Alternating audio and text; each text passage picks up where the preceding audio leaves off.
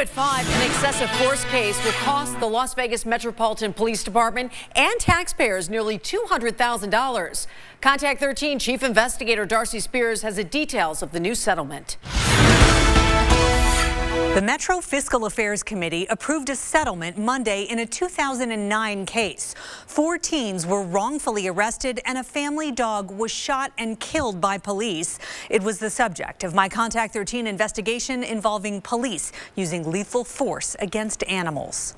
The family dog, a pit bull named Hazel, was killed October 24, 2009. A Metro officer shot Hazel in the face while she was just feet away from her owner inside her own home.